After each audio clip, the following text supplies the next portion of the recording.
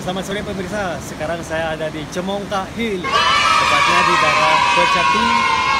Dan sekarang saya akan sunsetan Baca. Bagaimana kelanjutan video saya? Saksikan terus, jangan sampai ketinggalan. Terima kasih. 2,000 years later. Let's go!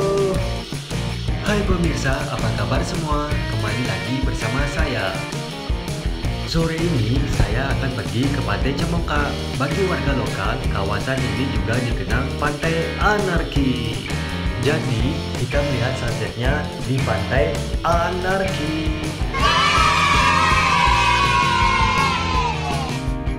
Tempatnya tersembunyi ada di Kecamatan Kuta Selatan, dekat Pantai Dreamland. Karena lokasinya di antara Bingin dan Dreamland. Saya bisa menyaksikan panorama pantai yang begitu indah. Sombong amat. Jadi, jika pemirsa yang ingin berkunjung ke sini, jangan buang sampah plastik sembarangan. Buanglah sampah pada tempatnya. Jangan lupa juga support pedagang lokal yang ada di sini ya guys.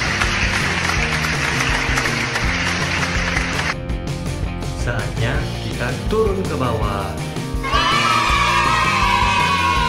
Eits, hati-hati agar tidak terpleset.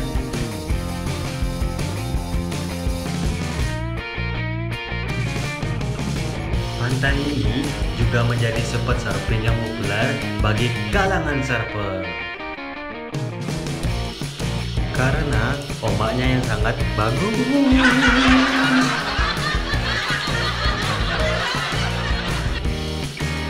Biasanya sebelum pandemi, wisatawan banyak surfing di sini.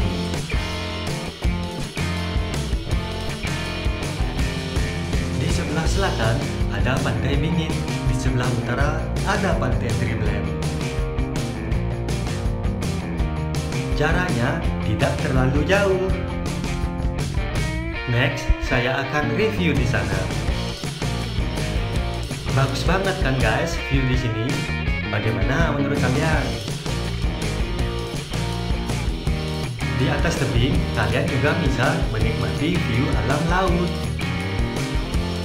sambil bersantai-santai bersama pasangan, sahabat, atau keluarga.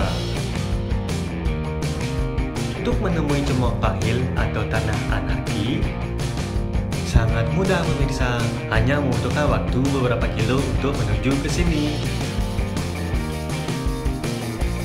Ini review saya tentang pantai Tanah Anarki.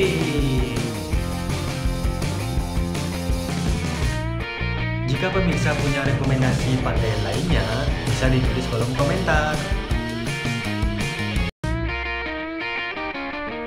Jangan lupa like, share, dan subscribe. Hari semakin malam, saatnya saya pulang. Terima kasih bagi yang sudah menonton. Sampai jumpa lagi di video berikutnya.